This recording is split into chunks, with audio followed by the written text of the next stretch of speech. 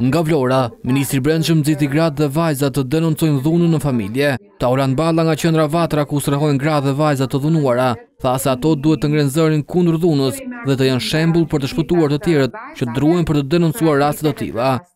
Ju jeni një shembull shumë i mirë për shumë vajza dhe gra të tjera, të cilat për shkak se hezitojnë të denoncojnë dhunën, vazhdojnë ta vuajnë atë në mënyrë të përditshme, ndërkohë që secila prej jush që e ka denoncuar atë dhe është çliruar nga dhuna, ju jeni një model të cilin ne duam ta ta mbështesim sa më shumë.